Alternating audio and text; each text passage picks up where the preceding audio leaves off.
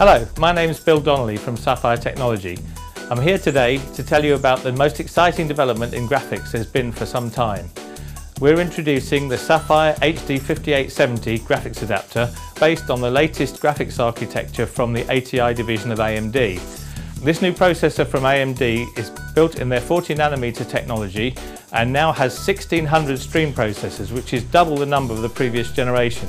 One of the most exciting things about this new hardware is it's the first graphics architecture to be fully compliant with the forthcoming DirectX 11 from Microsoft. Microsoft DirectX 11 will be part of the new Windows 7 operating system and will also be available in Windows Vista as a patch. One of the most important things about DirectX 11 is the ability to use Direct Compute 11. DirectX 11 opens up for developers of games and other software a whole load of new instructions and possibilities that couldn't be done in previous generations. To fully support DirectX 11 features, you do need to have DirectX 11 hardware. If you have DirectX 10 hardware, it will support Direct Compute 10, but not Direct Compute 11. Previous generations of ATI hardware were able to support a feature known as tessellation. This allows the basic wireframe of the objects in a game to be enhanced so that you get a much higher level of detail.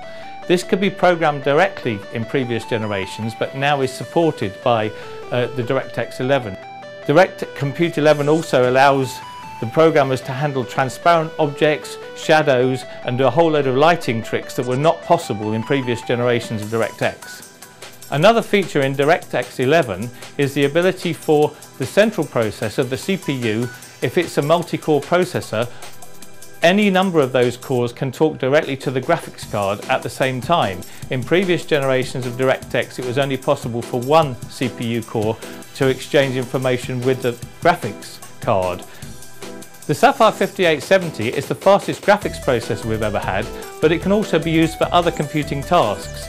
ATI Stream is a free piece of software which is part of the graphics drivers now that allows this GPU to carry out other tasks such as um, processing physics or transcoding of videos or things like that.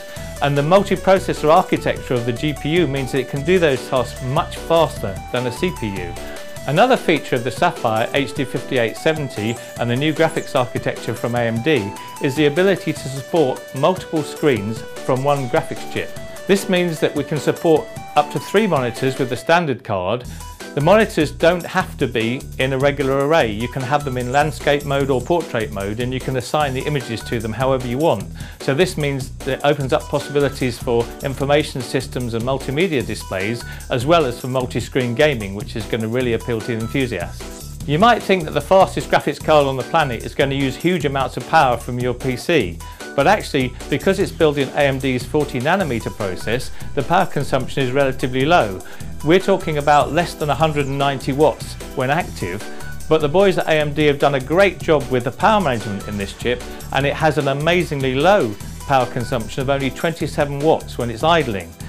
Like previous generations of our ATI-based graphics cards, the Sapphire HD5870 has a built-in hardware UVD. That's a universal video decoder which enables you to watch Blu-ray or HD movies for the first time in the HD 5870, we're actually able to simultaneously stream two 1080p video streams.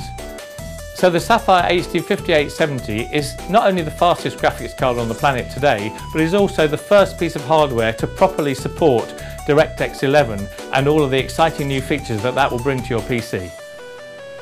Before I go, I'd just like to give you a sneak preview of something else that Sapphire is going to be doing. Um, Previous generations of our card, we've always brought out special editions. We've been innovators in cooling solutions throughout the years. And like with our previous generation of cards, we will be introducing a new VaporX model based on the VaporX technology which has been highly reviewed in the past on our previous cards and will give us the ability to run this new card even quieter and cooler than before and maybe squeeze a little bit of extra performance out of it. This is Bill Donnelly from Sapphire Technology. Thank you for watching.